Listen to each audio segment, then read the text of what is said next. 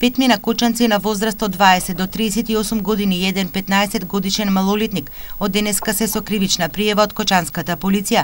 Осомничени се дека сториле 11 кражби на подрачјето на општината, од кои 8 тешки кражби, една во обид и две кражби.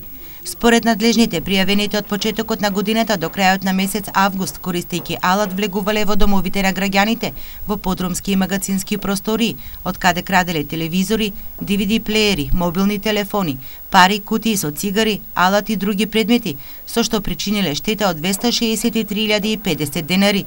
Вчера Штипската полиција за сторени тешки кражби поднесе кривична пријава на 10 лица сите од Штип, Пријавените оперирале во подруми, куќи и моторни возила на граѓаните и заминувале со вреден плен.